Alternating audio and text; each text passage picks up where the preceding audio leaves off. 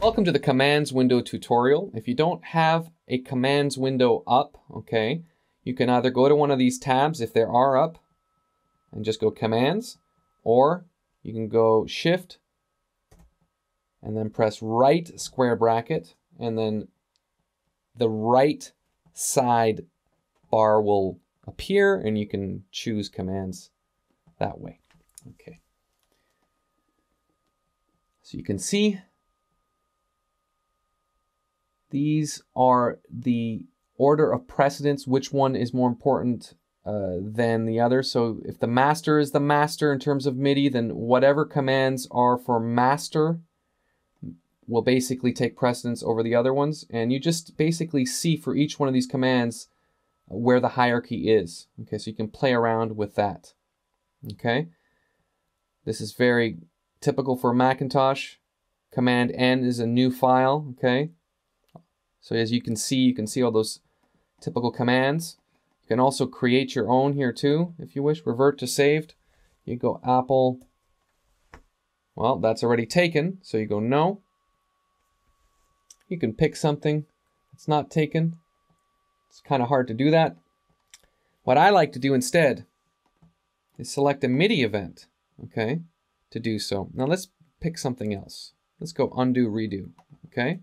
And I have my MIDI keyboard connected and I'm going to pick one of the buttons here and press it. There we go. And that's going to be my undo now if I wish. Okay. All right. Now there's so many commands here.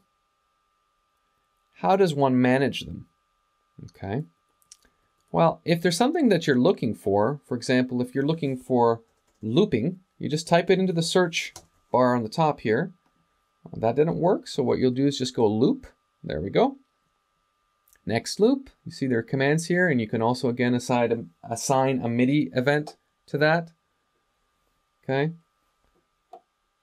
If you wish to be for that to be it, you can determine which this uh, what the source is. Okay, so from which keyboard? It's only going to be from the Axiom when it only comes from the Axiom, right?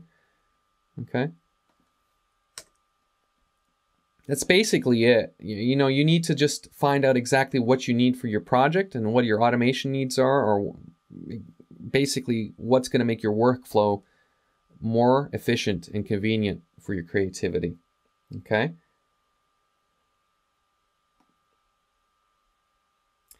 The key bindings, importing key binding and exporting key binding, that's basically whatever you've put into there and whatever you've changed. If you wanted to put it on another computer or if you wanted to import it from another computer, that's what that is. Okay.